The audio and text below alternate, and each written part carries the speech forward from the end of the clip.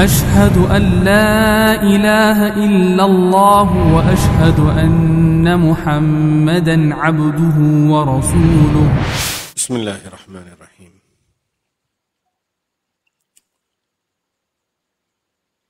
الحمد لله رب العالمين.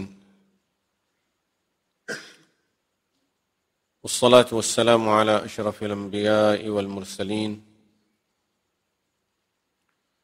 سيدنا وحبيبنا ونبينا محمد وعلى آله وأصحابه وأزواجه ومن تبعهم بإحسان إلى يوم الدين. أما بعد.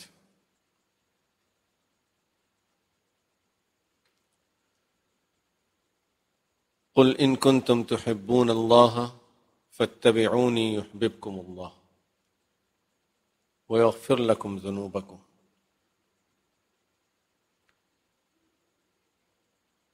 Say if you love Allah then follow me that is Rasulullah sallallahu alayhi wasallam Allah Allah will love you.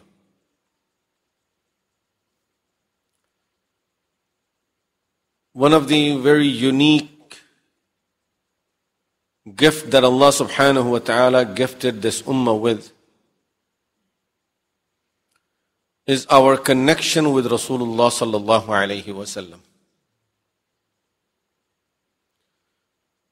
No ummah has that connection with either their prophet or the founder, whoever that person may be from whom they got the teachings of their religion, they don't have the connection with the founder, with the prophet, the way this ummah has its connection with Rasulullah sallallahu alaihi wasallam.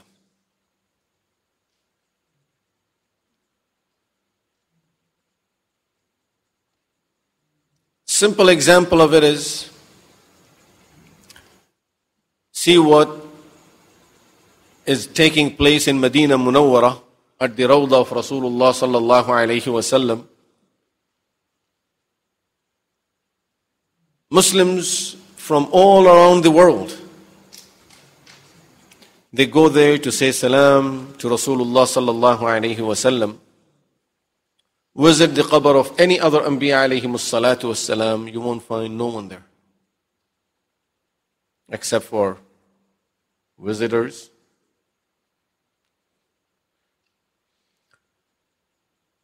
And of course, that is not the only way how we have our connection. We have a very, very strong connection with Rasulullah sallallahu alayhi wasallam.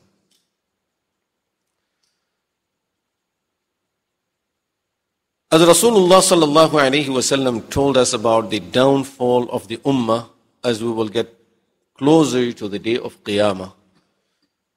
This is one of those things where there is a major downfall in the ummah and that is in our connection with Rasulullah sallallahu alaihi wasallam.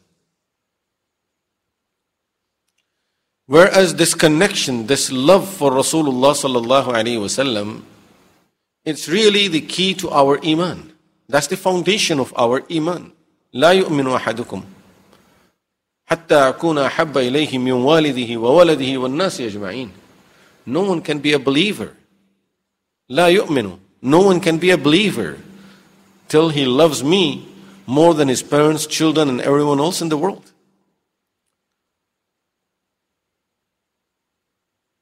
And as that love is going away, accordingly, ittiba' following is going away too. Because you follow the person that you love. When you don't love someone and you are asked to follow that person, it's very difficult to follow. And you will always be falling short in following because you don't care about who this person is. You don't care about what this person is doing. But when there is love, then people look at each and every action, each and every move of this person and try to follow those moves and those actions of that person. We see how players are being followed in all of their actions. People who are in sports, regardless of what sport you play, maybe you would see some people who play that sport. And now you try to play like that person. They dress like those people. They act like those people. They walk, they talk, they hold the ball, they throw the ball, everything like that person. Now just think about it for a minute. If a player tries to copy players and follows those players, may Allah protect us, but those who sing, they try to follow some of the singers. Dancers are following some of the dancers. So, as believers, as, as mu'mins, what are we supposed to do? Very simple. We are supposed to follow Rasulullah sallallahu alaihi wasallam.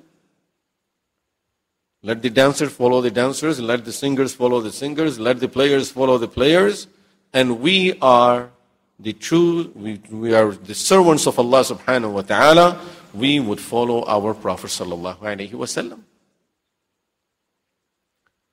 But we would be able to follow, as I said, only when that love is there. When that element of love is missing, then we will fall short in following Rasulullah sallallahu alaihi wasallam also. And what happens if a person is not following Rasulullah sallallahu alaihi wasallam the way he's supposed to follow? I saw an amazing statement. But before I go to that statement, one more point. As we said, one thing is that this is something unique about this ummah that we have our connection with our Prophet sallallahu alaihi wasallam. Very unique that this ummah has. Number two, second thing that is very unique about this ummah the information that we have about Rasulullah sallallahu alaihi wasallam, no ummah has that information about their prophet, about their founder, or anyone that they would follow.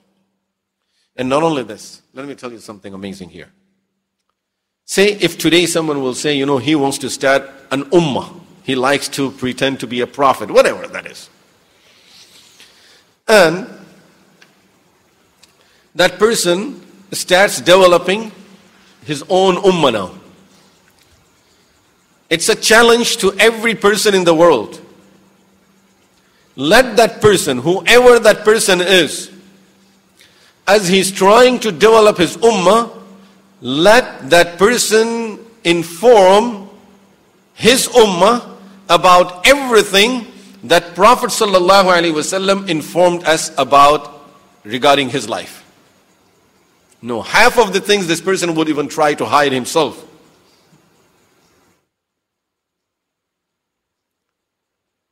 Rasulullah sallallahu alayhi wasallam not only that he never tried to hide anything, in fact, even the things that he was doing at his own home, people would go and ask Ummahatul Mu'mineen, the wives of Rasulullah sallallahu wasallam, tell us what did he do when he was home?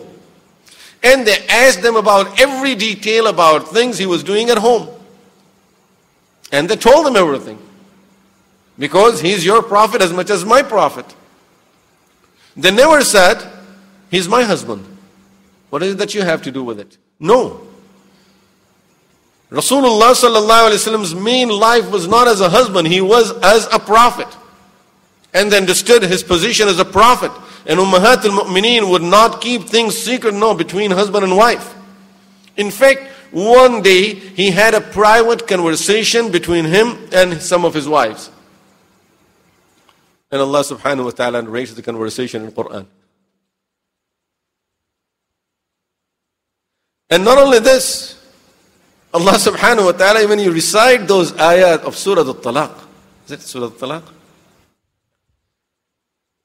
وإذ أسر النبي إلى بعض أزواجه حديثا فلما نبأت به وأظهره الله عليه when he informed some of his wives they asked him من أنبأك هذا قال نبأني العليم الخبير this is a conversation going on between him and his wife. And Allah is narrating that conversation in Quran. Telling us his main position, he is a prophet of Allah. So the information the Ummah has about Rasulullah sallallahu wasallam, no one could ever, no one in the world can have that information about any person in the world.